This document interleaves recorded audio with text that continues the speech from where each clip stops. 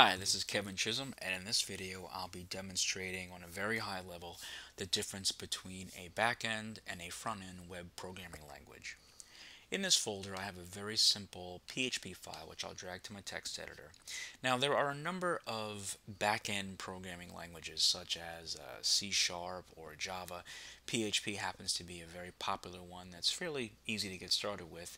We won't worry about the details too much but the main thing I want to point out is in this file, there's basically a lot of markup. It's HTML. And so this HTML just gets delivered over the wire. The server opens the file and just starts reading it, and it's going to send everything exactly as you see it here.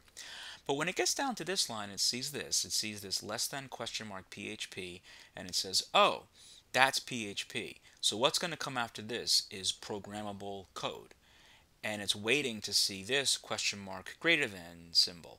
So when it sees that, it says everything between these those two tags, meaning this text that I've selected, is PHP code. It's code that I can execute. It doesn't just deliver this code, it executes it. Let's take see exactly what this means. So just keep in mind this less than question mark PHP and question mark greater than PHP tag. Let's look at the web page. And here we have this message was scripted on the server. Great. But if we look at the page source, we see exactly what comes down over the wire. This text that you see here is exactly what was sent from the server to the browser. So here we see this message was scripted on the server. Great. But we don't see the less than question mark PHP or question mark greater than PHP symbols as we saw here. Why is that? Because when the server sees those, it says, hey, I'm not going to output these I'm going to execute any code that's inside of them. So it creates a variable called message. We set it equal to a string called this message was scripted on the server, and we output this the message. It's not very complicated. What we get is the output of the code, which is the text this message was scripted on the server. But we don't get the PHP opening and closing tags because those tags just indicate, hey, this is PHP code. We got some stuff to execute. It executes the code, and that's it. Now we can demonstrate that maybe even a little bit further if I open this file and I'm going to paste in some new PHP code.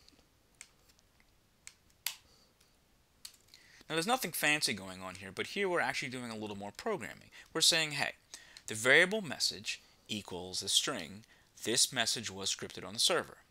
Then we say if there's a get message, which I'll show you in a second, then message, which is already created here, we override it and say it equals whatever was sent in the get, and then we output it. So what does that mean? Well, it means that here, nothing special happens. But if we say message equals hello, we see the word hello. And then if we look at the page source, we see just the word hello came over the wire. Once again, no open closing PHP tags, just the word hello. And why is that? That's because this code, without getting too down in the details, this code says, hey, if there's a message key in the query string, then the variable message equals whatever the value of that key is. So basically, I'm overriding the code that we put in the page. So I can say message equals Kevin. I can change it to whatever I like. But the most important thing to keep in mind is whatever's happening here is actually coming over the wire. We're sending a message to the server. The server gets the message, does a little programming, and echoes that message. And then, of course, we can simply get rid of the query string, and we get the default, which is this message was scripted on the server. So the most important thing to keep in mind in this case is that a back-end programming language executes on the server, and that allows us to do things in the web page before the web page is actually delivered to the client. So this code executes on a server. That server could be a 10,000 miles away. It could be in some server room in South America, the North Pole, or in Australia. It doesn't matter. But this code actually runs on the server and then it completes and it returns the HTML to the web page and we get the actual markup that we asked for.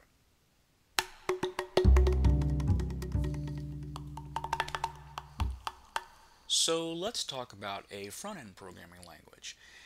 Uh, that's really going to be JavaScript because in pretty much any modern browser that you use, the front-end programming language is JavaScript. So let's look at that index.php file again. You'll notice at the bottom I've highlighted a script block. I don't want to get too much into the implementation details of JavaScript, but the main thing is that this is a script block that although it's in the markup that comes down, it doesn't execute until the web page loads. And all I've done is created a variable called client message. I've set the value of that variable to be the string this message was scripted on the client, and then I append that message into the DOM. Now when we look in the web page, we'll see that message, this client was scripted on the client. This message was scripted on the client. But that's not in the markup. In fact, if we just copy this and I look in the page source and search for that header, I see client message, but I don't see that actual message, this message was scripted on the client. In fact, I see a comment that goes where it should go that says JavaScript message will go here. Although if we look down here, we do see the JavaScript code and you do see the message, but this is where the message is being created programmatically. It's not the actual content. So keep in mind, this heading, client message right here, is this. But if we look for this message in the source code, we don't see it. And that's because this message does not come down over the wire. It's not part of the markup. markup. It's created programmatically when the web page loads. There's another way that we can demonstrate this. I'm going to open this snippets file and I'll copy this code and back at the web page I'm going to open the JavaScript console. Again, I don't want to go into the details too much, but it's just a JavaScript console is a place where I can execute JavaScript in the browser in real time. So I'm going to paste this code in and run it. And look what happened. The message changed. It said hello from Kevin. In fact, I can say goodbye from Kevin. I can basically say anything I want.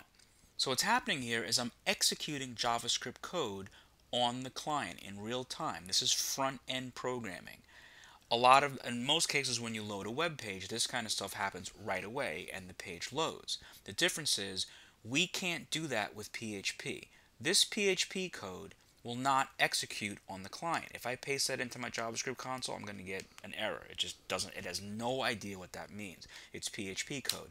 PHP executes on the server. But JavaScript executes in the client. So if I want to paste any kind of JavaScript code I want, it will work. It doesn't matter what I do if I execute it in the JavaScript console. It will work.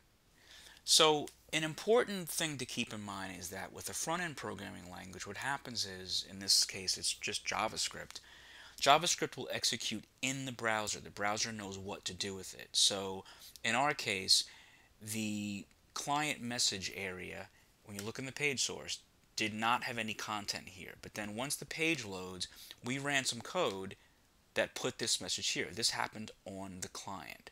So the biggest difference between a back-end and front-end programming web like programming language is that with a back-end language, the code executes on the server before the web page is delivered to the browser. With the front-end programming language, this code executes once the page is loaded into the browser and then you can still arbitrarily run JavaScript code for as long as the page is open in the browser.